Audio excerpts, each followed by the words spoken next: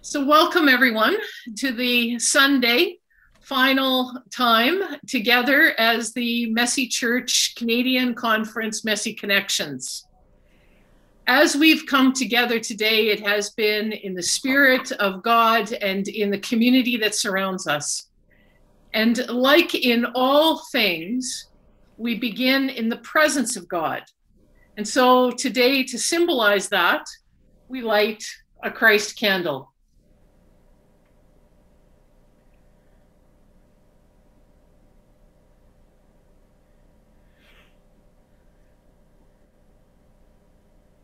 And remembering that we are not alone, that we live in God's world, we begin acknowledging the land. Hi, everybody. I'm Daniel Blaikie, the Member of Parliament for Elmwood Transcona and a member of Messy Church. Salut tout le monde, je suis Daniel Blaikie, le député pour Elmwood Transcona et un membre de la cathédrale Pellemel. I'm coming today from Ottawa on Parliament Hill which is on the traditional unceded territories of the Anishinaabe and the Algonquin peoples. And my riding of Elmwood Transcona in Winnipeg is located on the traditional territories of the Anishinaabe, Cree, Oji-Cree, Dene, and Dakota peoples, as well as the homeland of the Métis Nation. I know people are participating in the Messy Connections Conference from across the country, and there are many, many territories uh, on which, uh, from which everyone is participating. So I'd invite you to do your own land acknowledgement in the chat so people can see all the many territories across the country from which people are participating. And I want to just take this opportunity to wish you a very good uh, Messy Connections conference and, uh, and wish you all the best. We uh, open with a word of prayer. Thank you, God, for this blessing of time that we have together and for the gifts that you give to us. Bless this time that we share that we may know your love surrounding us and calling us into your into shares of Christ's ministry in the world. In Jesus name. Amen. Now, wanting to introduce you to the whole of the planning team has been easy because everybody has been willing to take a part. But if you have only watched a little bit of the conference, you haven't seen everyone. So now we're going to take time to introduce you to the Messy Church team in the words of introduction. I trust we're all here. I just need to check. I haven't seen Shannon yet. So I'll read the Shannon part. But Shannon, and when Shannon comes, she might still be at church. But here we are together in God's name. We begin with Gail. What a conference this has been. We opened with Susie sharing the story stick. And as we received the gift of the story stick, Lucy wondered if God has a little cache of precious things like this for each of us, reminding God of special moments we reflected that God brings us back home to ourselves and to our stories. And in meeting in Messy Church, we are coming to those stories in places of play. And as we thought about Messy Church gatherings and the conversations that grow and nourish faith, Lucy reminded us that all we do is cook a few things and God does the rest. Lucy said, Messy Church is about coming as you are and reminded us that play is the ultimate spiritual act as it can heal and release prisoners and help us to see clearly. Lucy reminded us that we are best church when we are together with people who are different than us, and we need to be disciples to make disciples. As we put on our vests of veneration, gloves of gratitude, socks of song, and more, we told stories. And Linnea Good reminded us a story at best is something that grows the storyteller. Songs in our hearts that we celebrate the mess of messy church. We do not have things all tidy after all. As Claire Daw said, it's often the process, not the product. And in Sandy Brodine's words, it is time to make meaning together. Welcome back, Lucy.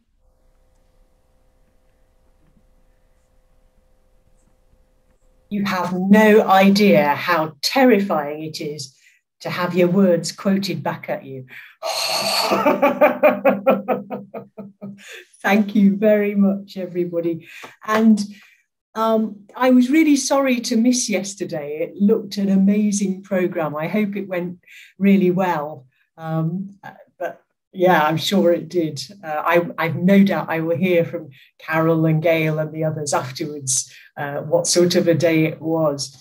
Um, but I just wanted, before I start uh, today's talk, I, I just wanted to, I suppose, a bit similar to how you acknowledge the, the land that you're on and the foundation you're standing on. I just wanted to acknowledge Carol and the team and the amazing foundation that you've all been for this conference and for Messy Church in Canada. Um, it, it is, it all sounds so cheesy, doesn't it, when you say it? But I really mean it. It's such a privilege to work with people who have this heart for God, who have this heart for families in the community, um, and who, uh, who kind of buy into the messy church values. It, it really is like being with a, a family, a tribe uh, that extends around the world. So thank you for all that you're doing um, to help God's Spirit to, to find safe places all the way across Canada. A phenomenal work and, and every blessing in it. So thank you for letting me be part of it. oh, now today, today, um, we have um, the rather glorious title of um, Living in the Mess, Living with the Mess. And I think that was you, Carol, that came up with that one. Um, but uh, yeah, a very good title. Um, and one of the things that I love about the Messy Church work is that um, that you can always shrug your shoulders and go, oh, "It's a mess.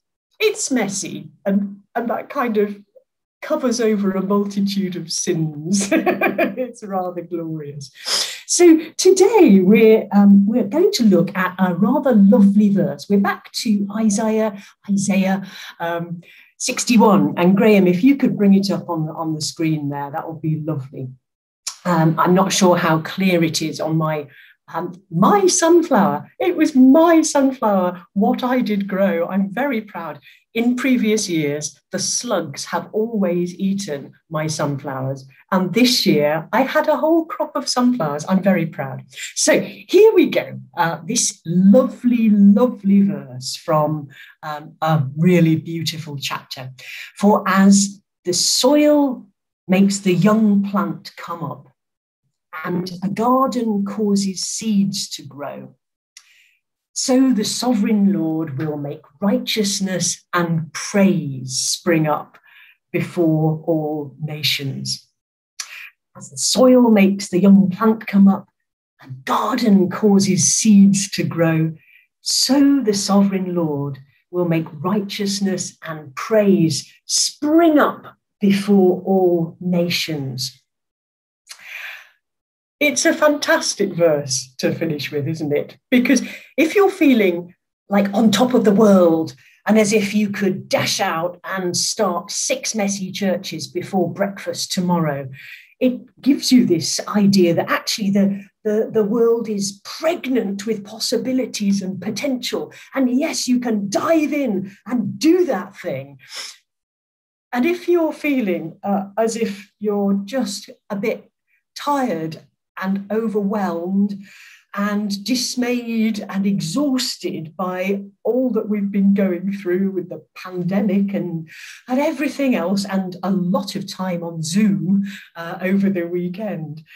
Um, and now these mad people are wanting me to start a messy church as well. Then there's the truth that this work is God's it's God's work, and we can just relax and enjoy the privilege of working with God if that's what we want to do. but God will do what God will do regardless. Uh, and it's, so it's a lovely, liberating verse to encourage us, whatever we're feeling like. And, and don't you think that, that Jesus probably had this verse in mind when he told that little, that lovely little parable um, that's in Mark 4? Um, do you remember the one? It's, it's not one of the better known ones because it's, it's kind of, well, where's the story, please? Uh, there is no story. Where's the plot? but it's the one that goes, This is what the kingdom of God is like. A man scatters seed on the ground night and day, whether he sleeps or gets up, the seed sprouts and grows, though he doesn't know how. All by itself, the soil produces corn, first the stalk, then the ear, and then the full grain in the ear. As soon as the corn is ripe, he puts the sickle to it because the harvest has come. Lots of resonances there, aren't there? And that same feeling of, oh, oh, things are growing, things are growing, and I never knew they would. Um, what's going on? This is bizarre. Um, so the kingdom of God uh, is like a garden. Um, Graham, I wonder if you could bring up the next slide, please. Uh, this is the, the very now familiar um, values slide. And if you remember, on uh, Thursday, all that time ago, we thought about celebration, uh, that garment of praise, um, which I'm sure you've got a treasured drawing of somewhere. Um, and oh, you won't need to draw anything today, by the way, just in case that was on your mind and worrying you. No drawing today. Um, so, celebration and creativity that we looked at on Thursday. Um, and I know that uh, uh, Sandy was thinking about that as well yesterday. And we thought about um, being all age, diverse on Friday. And so today we're thinking about hospitality. Hospitality, and uh, this will make sense later on if you're thinking, hey, what, what, gardens, hospitality, what's all that about? It will make sense, I promise you. Um, hospitality is, mm-hmm, if I, ha- I like all the messy church values, obviously, um, but if I had to choose a favorite, I I really think it would be hospitality. Um, I get very, very passionate about hospitality. It's the more you look into it, the more exciting it gets and the richer it gets. And the more it opens up possibilities and potential. Um, and the more I think this should be at the heart of every single church why are we not experts in hospitality in the entire church? We should be, it's so much part of what the kingdom of God is all about that we should be like, we should be the hospitality industry for the world, even though hospitality industry is a horrible, horrible phrase. Let me let me explain a little bit why I love this, this value so much. It's something about relationship. And it's something about um, it's something about the power in a relationship. And I think so often in the world and in the church particularly, we get power wrong and we strive for power and we abuse power. And in hospitality, there is something rather beautiful going on with power. If you think of hospitality as, as um, uh, involving two people or two groups, you've got the host who has the power, who has everything, who has the resources and the abundance and the safe space.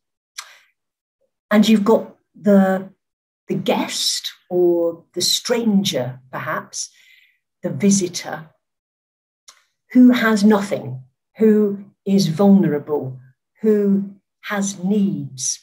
And the two are in a relationship where the person with the power has a choice of what to do. because they have all the strength and the, they've got somebody in their power. And the lovely thing about hospitality in the ancient world, the world of the Bible, is that hospitality was a sacred duty. It was something that mattered so much to that society that it had a deep, deep wisdom because it says something about the society, the culture that they knew it was best to be. And that was a culture of hospitality. It was the sacredness of the guest, the sacredness of the stranger visiting you. Because, I mean, if you're a nomadic society, then frankly, you know that, all right, today you might have your safe camp and your family all around you and your camels and your sheep and your your tents and everything. And you might be perfectly safe with your bodyguards and everything. And you can welcome a stranger into your camp. But next week you might be the one traveling on your own across the desert. You might be the one needing the hospitality of somebody else and so there's this interplay of power that you can have all the power at one point in your life and none of the power in the next point of your life. So it's ever changing, it's a dynamic relationship of power. And it's, as I say, it's something about the society that they wanted to be, making safe spaces for strangers, making home from home making a place where somebody very vulnerable can relax and thrive and flourish. An oasis in the desert, if you like. And I just want to just stray quickly into two of my favorite stories about hospitality in the Bible. Um, because they say so much about hospitality and are so inspirational for us where we are today as we strive to make safe spaces for spiritual journeyers, for people who are traveling through a wilderness where nobody's affirming their spirituality, where they're looking for a safe space to thrive and doubt and ask the difficult questions and find a language to put on something that they're feeling about otherness and what is this thing you call God. We're trying to make in our messy churches somewhere for the spiritual travelers to thrive, to flourish, to belong. And the first story um, is, is the story of, uh, it's an ancient one, ancient, one of the, I think it's in, is it Genesis 18? It's, it's right in the first book of the, uh, of the Bible. And if you remember, um, Abram and Sarai are, are camped out uh, by the oaks at Mamre. And it's a hot day, always a hot day, and it's after lunch, and they're all having a siesta. And there they are. And, and if you remember, at this stage in the story, God has promised them that they will have this amazing family that will be greater than the stars in the sky and the sand on the shore, grains of sand in the desert. But they have no child. There is not even one child, and they're both getting older. And as, um, as they're having their, their, their postprandial siesta, and Abram's an old man, He's very old, so he's enjoying his rest, no doubt. There across the desert come these three strangers, and the strangers come towards their camp. And of course, Abram has a choice. Either he can say, I'm old, I'm having my rest, uh, I've done my bit, let one of the younger ones go out and, and sort them out. But he doesn't do that. He runs out of the camp he throws himself down on the ground and bows down in front of these strangers. And he more or less drags them in, you know, invites them in so overwhelmingly positively that they, they probably had no choice. they felt they needed to come in. Um, and he does all the things that that society says you should do for a guest. He, he washes them and he gives them, you know, the feet and, and he, he gets, gets the family preparing not just a little sandwich uh, and a carton of orange juice, but they kill a whole cow and they get these masses and masses of flour to make masses and masses of bread with. And they get this yogurty drink. Um, I don't know what it was, but some sort of milky drink um, that was the best that they could offer. Um, for some reason, in my mind, I always have this vision of like doner kebabs being on offer. Uh, I don't know why that comes to me, but I always think of them eating kebabs uh, under the trees there. And they give them the food to eat, they watch them eat it. And after that hospitality has been offered, the three visitors somehow weirdly in the story become one. And they reiterate the promise of a child. And they say, when we come this way again, you will have a child.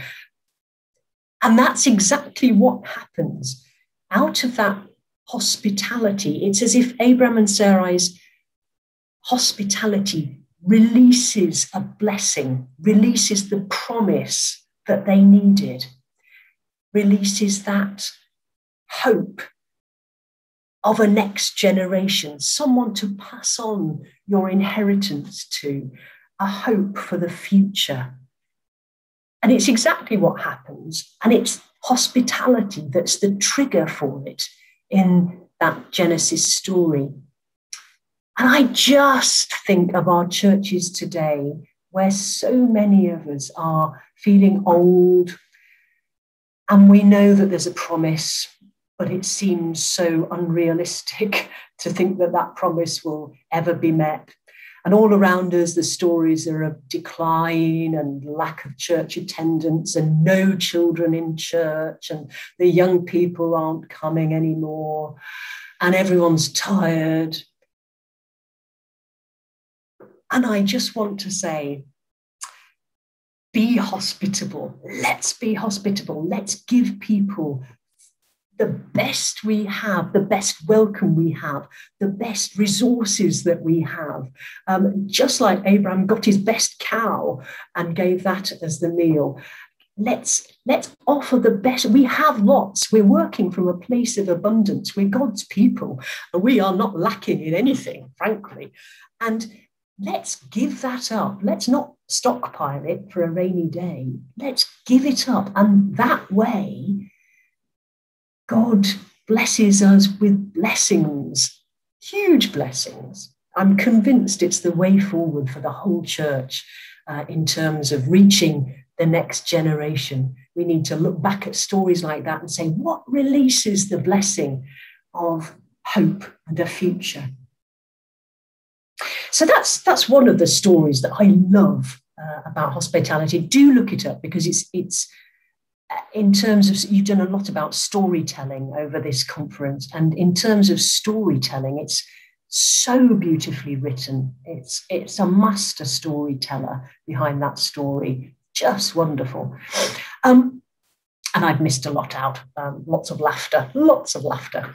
Um, the other story which is um, very key i think about hospitality is the story of zacchaeus uh, which is m- perhaps a, a, much more familiar one to us all. And if you remember, um, Jesus is going through the city of Jericho with his disciples, and there's huge crowds coming out to cheer him on. And there's this little tax collector who's an obnoxious little man, uh, and he's cheated everybody. He's collaborated collaborated with the Romans. Um, he takes a cut out of every transaction he does. Um, he's, he's just an unpleasant little man. And he's little, uh, he can't see above the crowd. And of course, nobody's going to kindly let him stand in front of them because he's so revolting. And so he climbs a tree.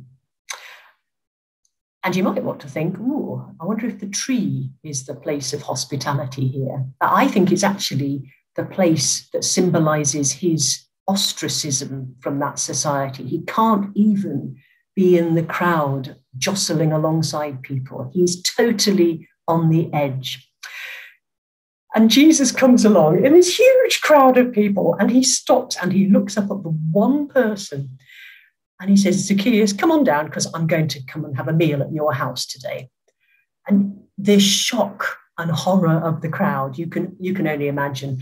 Uh, but Jesus doesn't care, doesn't give a monkeys. He just does what he knows he needs to do and goes along to Zacchaeus' house and presumably eats. It doesn't actually say that, but presumably they have a meal together. And at the and everybody's watching this meal. Remember, they were very public meals in those days.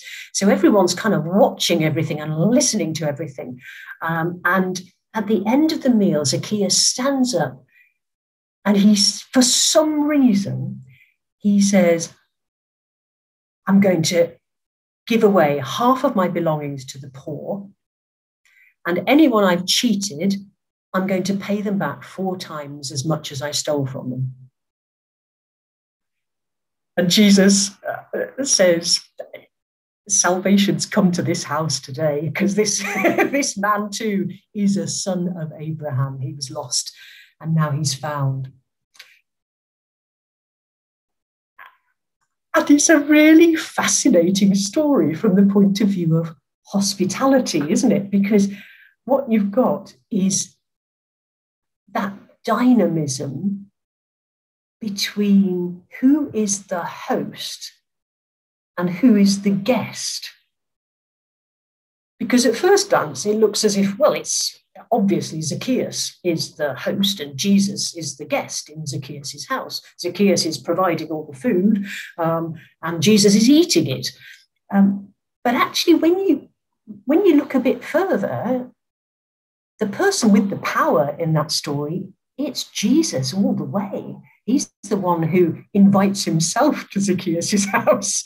He's the one who, in something that he says or the way that he listens, perhaps, he changes Zacchaeus' life. He changes that household to a godly way of life out of a corrupt way of life.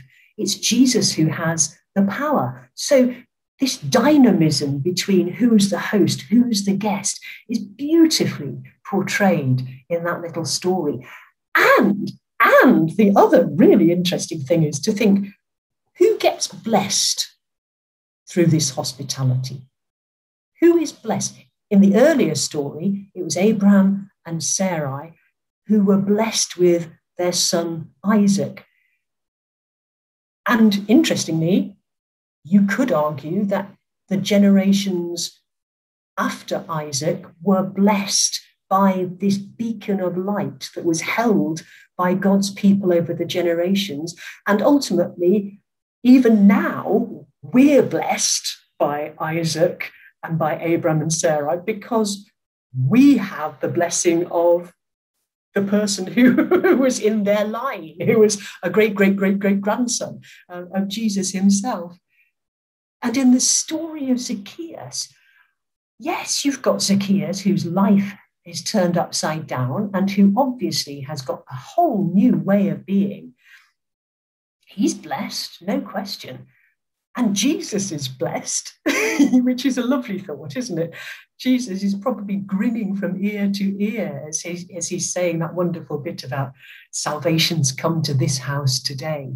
Um, this is just what Jesus has, has come to do uh, to rescue the lost, release the prisoners, set the captives free. But also, also, the whole community of Jericho gets blessed.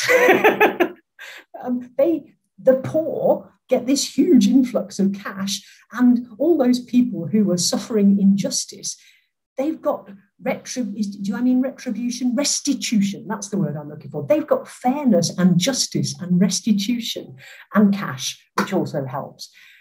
So the blessing of that meal of hospitality is just phenomenal. It's, it blossoms out from the tiny little household out into the whole community.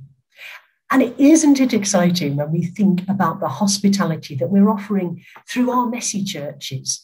That, that warm welcome at the door um, that, that greets people as if they're the lost sheep being brought home uh, or the lost son coming back after his tribulations in the pig pen. Uh, that, that welcome at the door, the welcome at every activity table, that that a big smile waiting. You're, you're, you're just so happy that this person has chosen your activity to come to, and you want to make them feel as, as safe and as at home as you possibly can in your little area of hospitality. And then in the celebration, when we're when we're welcoming people into the presence of God in, a, in an even more direct way, um, making a safe space, a safe place to wonder and to articulate and to doubt and to try out this strange thing we call worship. Um, it's, it's about creating a, a, a, a home where you can where you can practice things and then, of course, there's the meal, that expression of hospitality, that in that great tradition of Abraham and Sarai and those three visitors, and Zacchaeus and Jesus at the Last Supper, this beautiful expression of abundance and welcome and acceptance just as you are. Um, I, it's transformative stuff that we're doing. This is not just shoving pie and peas down people's throats. This is, this is a foretaste of the kingdom of heaven. This is the way that blessing is released into our whole communities. Oh, so much to think about, so much to think about. Um, now then, where am I? Oh, I know, yes. Um, hold all that in mind. Hold all that in mind about the power of hospitality. Because what we're thinking about is, is living in the mess.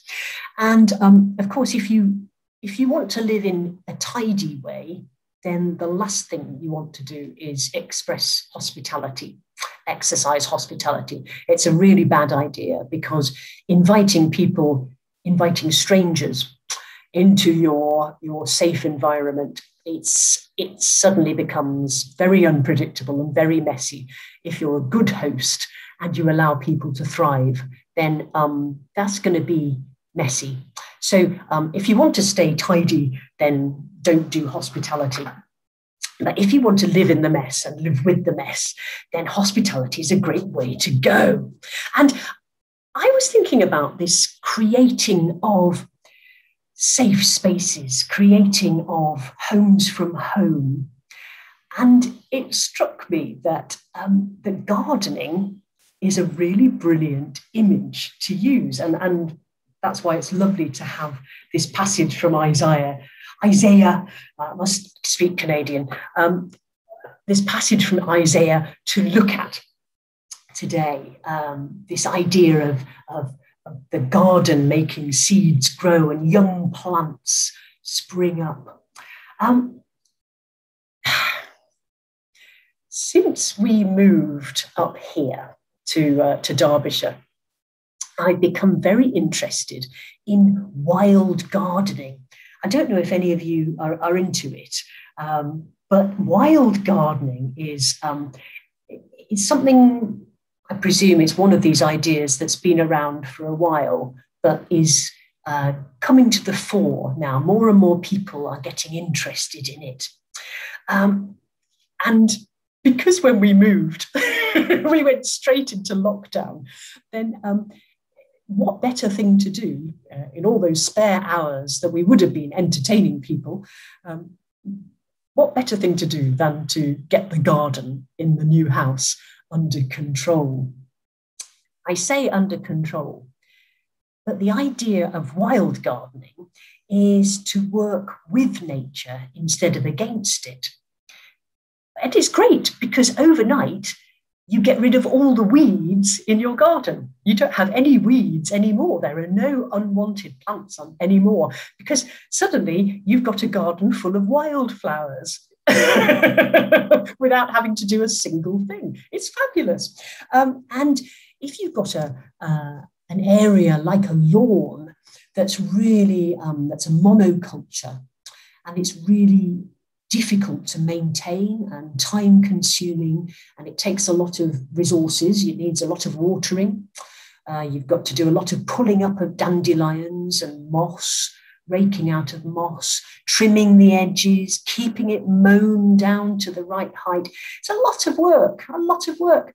But if you let it go and have a wildflower meadow instead, then suddenly you've got something that's diverse and exciting and easy to maintain.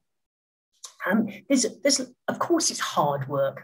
Um, wild gardening is hard work. Um, that you've got to look after things like um, the thugs of the plant world. You've got to trim off the, the seed heads of the, the dock plants uh, before they seed for the next year, so that because they're, they're, they're kind of the thugs of the, the plant world and they take over everything if, if you let them run riot. So if you want a, a balanced uh, biodiversity. And you do have to do a fair amount of work to, to give the, the weaker plants a bit of a chance to survive. Um, but you also get rid of um, all the pesticides and herbicides and artificial fertilizers. So the only things you put on the soil are, are homegrown compost and manure, um, which is not only cheaper, um, but it makes it a much safer space for uh, the, the bees and things. Because the idea of wild gardening is that humanity, especially somewhere as small as Britain and as intensively occupied as Britain, you've probably got a bit more space in Canada, but you, you know, why do I say that? You've definitely got more space in Canada, but in Britain, we're very overcrowded, aren't we? And we have stolen and stampeded and built over so much of the natural world. We've stolen the habitats of the creatures who were there first. We have, um, we have been inhospitable. We have concreted over where they should be living. Um, I forget the actual figure, but it's something horrific like 80% of the natural ponds in England have been lost over the last hundred years. It's when you think of the amphibian life that has been lost, that all these species becoming endangered because we farmed intensively and we've built too intensively. Um, so, wild gardening is a way of saying, well, the little area that I have control of, my little yard, my little garden, um, I can do something about in restitution. I can do something to make my little space a hospitable space, a space that's safe for creatures to come, that's safe for life to flourish. Um, I can't do anything about the huge uh, grouse um, kind of moors. I can't do anything about where the sheep graze. It doesn't belong to me. But the area that I can help out with is my garden. I can do what I want to do in my garden. And I'm going to make that a, a safe space for creatures and flora and fauna of all sorts.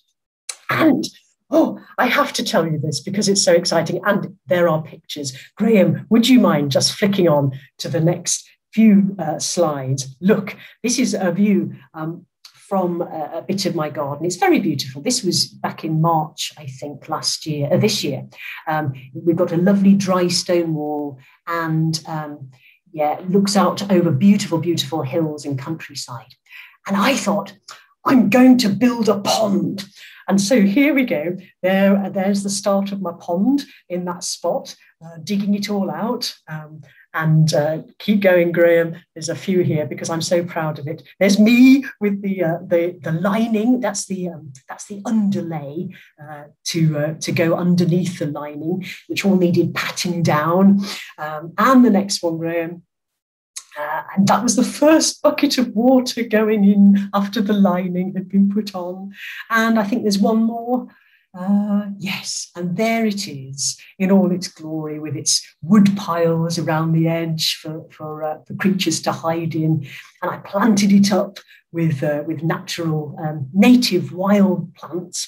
Um, and and the idea of a, a wildlife pond is, is that you don't stock it, really. You, you put the plants in um, to give it a head start, but you don't put fish in and you don't you're not allowed to move amphibians anyway, it's illegal. Um, but you just leave it and wait and see what happens.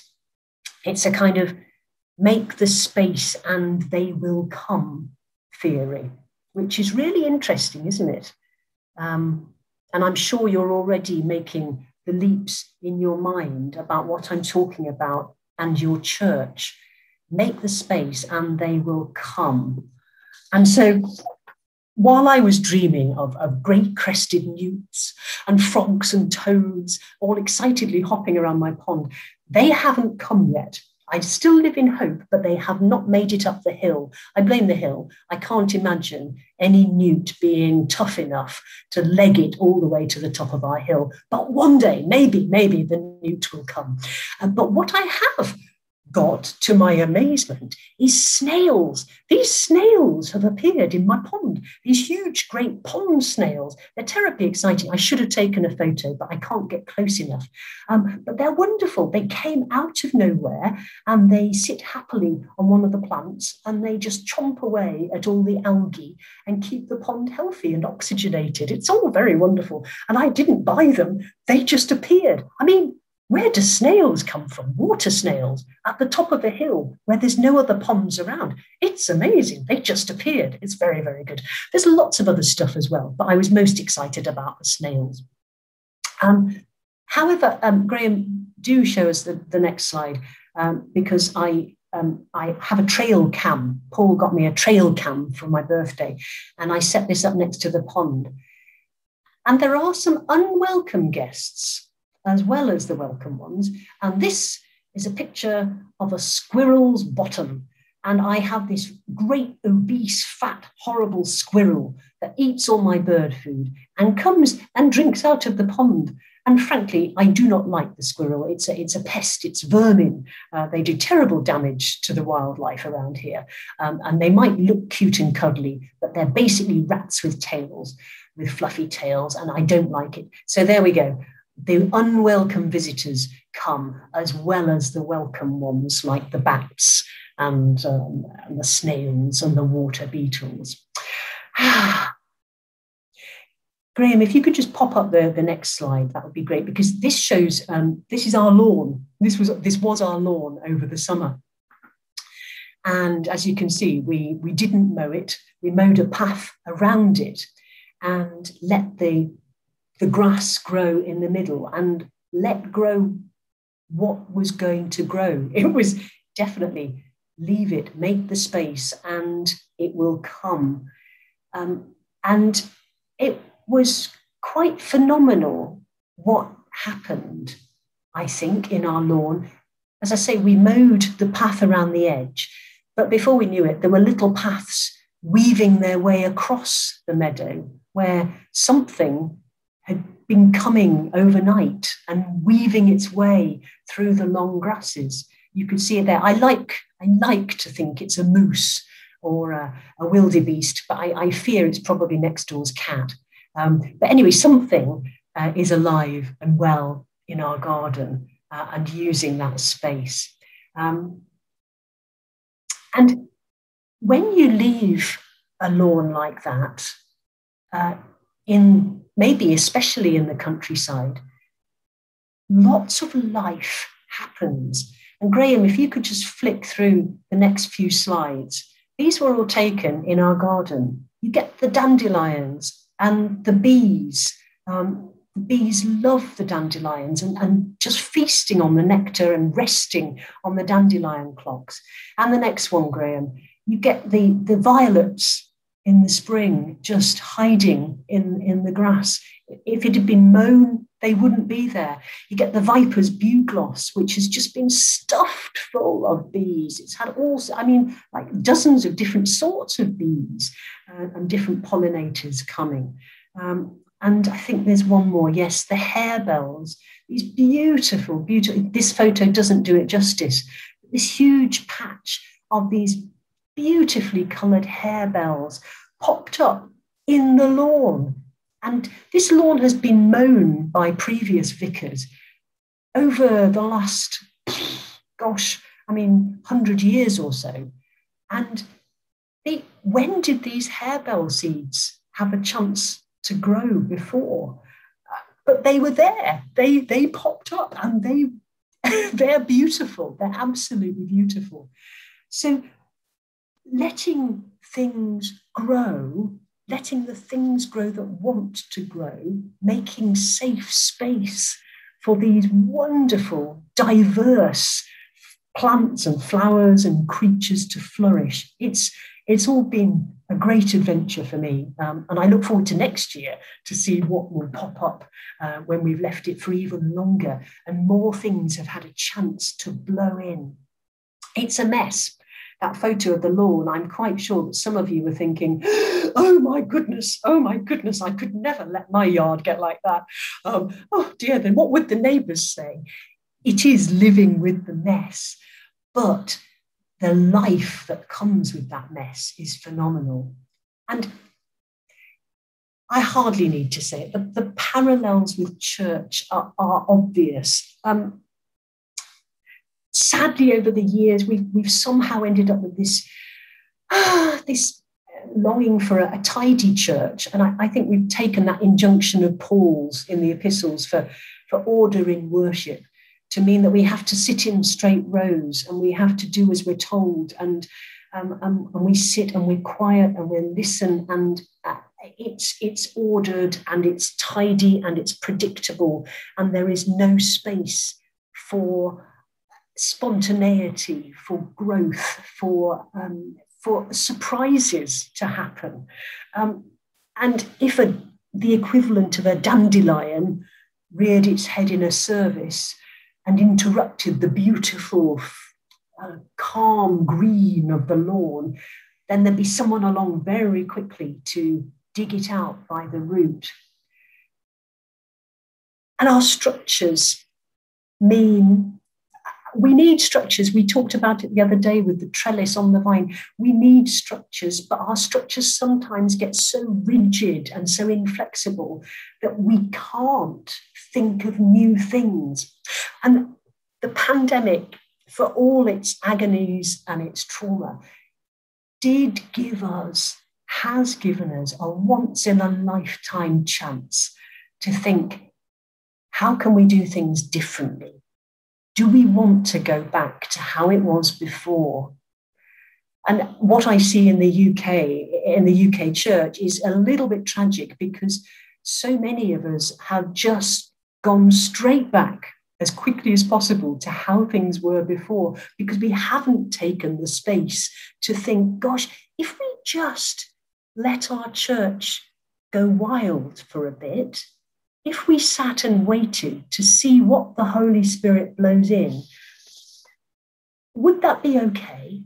But instead, a bit like hosts who want things to be their way, we've said, no, we, are going to do things how we've always done them uh, and get them going again um, as quickly as possible. It, it was brought home to me when my husband Paul went to a, a, churches together meeting down in the village with the other church leaders in the area. And he said that he came away disappointed because all the time on the agenda was given to the plans and rotas for doing all the things that we used to do pre pandemic. And there was absolutely no time to sit together as church leaders and imagine what new things we might want to do and what old things we might want to let go of. There was no space made for the creativity uh, to be church for today. So, in a wild garden, you, you get rid of the hazards, you get rid of the pesticides, the neonicotinoids and things, and you make a space where wild creatures want to come and where they'll be safe when they do come. in Messy Church, perhaps we could see ourselves as removing the hazards that threaten people's spirituality. and it would be a great way of making your messy church even better, taking it in new directions.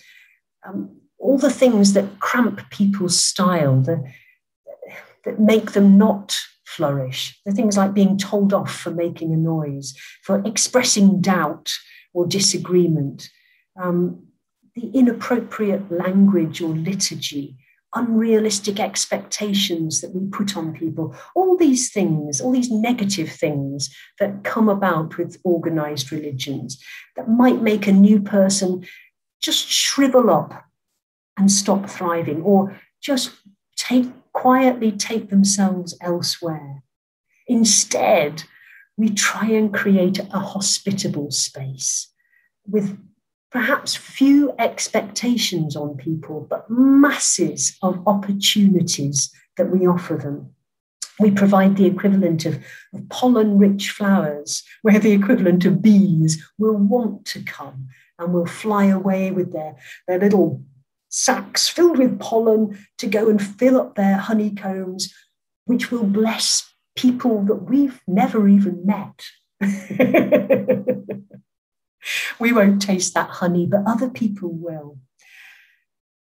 And we have to accept that when we're hospitable, there will be unwelcome visitors like that fat, that really fat squirrel, which frankly could do with a bit of exercise running up and down the hill, uh, going to get its water elsewhere.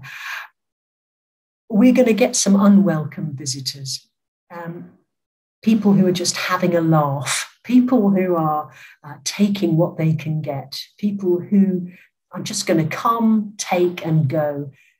But that's all part of what hospitality is about. Um, the benefits of being a hospitable community far outweigh any exploitation that those few exploitative guests are going to inflict on us. And in Messy Church, it's all okay. um, that, that byline, it's messy. It, it, it applies in this situation as in most others. What matters is providing a safe space where the spirituality of every person, young and old, can flourish and grow like that vine. This conference has been a place of sowing seeds. It's I hope, been a place where the young plants are growing. Um, so whether you're starting a messy church or, or whether you're, you're running a messy church already, I hope it's been a place that's, that's welcomed you and that's been a really rich kind of pollen laden environment um, that sends you out to your part of Canada uh, with your honey sacks, your pollen sacks kind of laden with stuff to take back to your own hive. Um, that wonderful passage from Isaiah, I'll, I'll just read it again to finish because it's so beautiful and something to take into the rest of our year. For as the soil makes the young plant come up, and a garden causes seeds to grow, so the sovereign Lord will make righteousness and praise spring up before all nations. Amen.